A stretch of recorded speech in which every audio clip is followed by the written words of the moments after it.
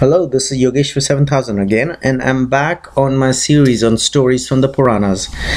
And today we'll be talking about a story which is about a forest called Kamara. And this forest was in the day, the ancient, ancient days, or age rather, of Krita Yuga. As we know, there are four yugas Krita Yuga, followed by Treta Yuga, followed by Dwapar Yuga, and then the last Yuga is Kali Yuga, the day and age we are in right now.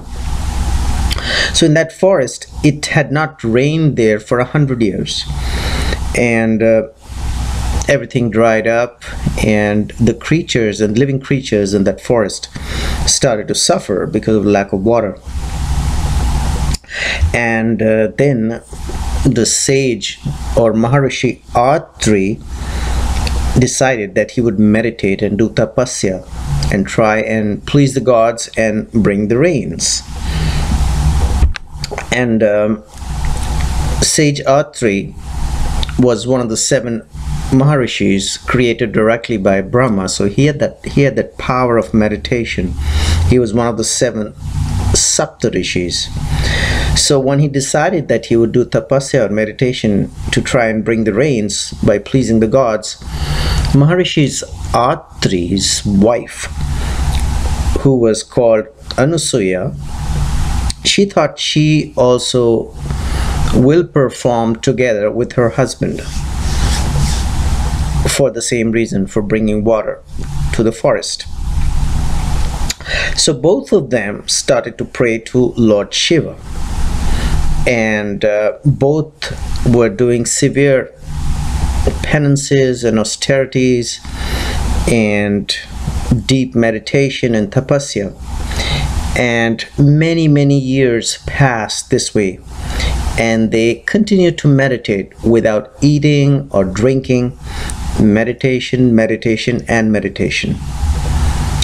And one day after a few years Maharishi Atri's meditation was finally over and he felt thirsty. So he asked his wife, Anasuya, to go and get some water for him to drink.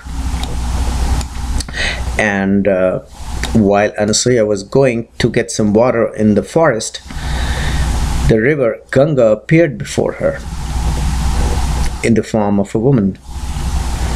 And Ganga said, I am pleased with your tapasya. She told Anasuya, I am pleased with your meditation and tapasya. What boon do you desire? So Anasuya immediately said, In case you are pleased with me, please make a pond here and fill the pond with your water. And Goddess Ganga said, Okay, great, I will definitely do that. And she immediately created a pond and filled the pond with water. And then Anasuya, Sage Atri's wife, filled her water pot from the pond and brought the water to her husband, Maharishi Atri. Now, when Atri drank the water, he thought this water was much, much tastier than the water they had been drinking earlier. And then he asked what was the mystery behind it. So when he asked Ansuya, why is this so? She told him the whole story. She narrated the whole story how she went to the forest and goddess Ganga or the river Ganga appeared before her and she asked for a and she asked for a boon from uh, goddess Ganga and she created this water or a pond filled with water and that's where the water is coming from. And uh, this time both husband and wife sage atri and ansuya came back to the pond. And uh, they prayed again to ganga and asked her to stay here in the forest forever.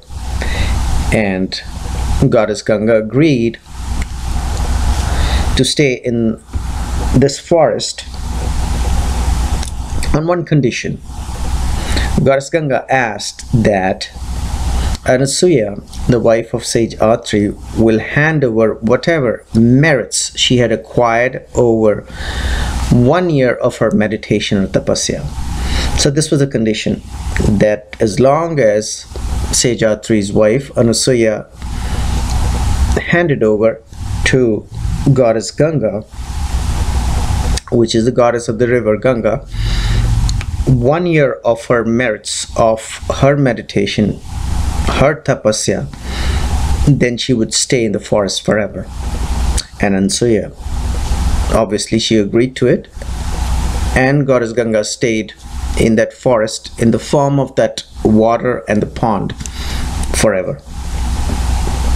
And in the meanwhile, Lord Shiva also appeared and he offered to grant an Anasuya another boon and Anasuya again asked Lord Shiva that Lord Shiva, please always be present in this forest. And Lord Shiva agreed as well. So, with the power of her meditation, Anasuya could bring goddess Ganga into that water and also have a pond filled with water all the time in that forest and also made Lord Shiva agree that he would also be present in that forest. And to which obviously both Ganga and Shiva agreed, and this place became extremely sacred over times. And this place is called as Atrishvara Tirtha. Now, there are different opinions on where Atrishvara Tirtha is, but it's somewhere in the jungles of North India in today's day and age. And since it's coming directly from the Puranas, this story is coming directly from the Puranas, I will request you to have firm faith and belief in it. Hopefully, you enjoyed this story. And in the meanwhile, I will recommend subscribe to my channel and check out my website. There is a link below. And I will see you with the continuation on stories from the Puranas very soon. Goodbye.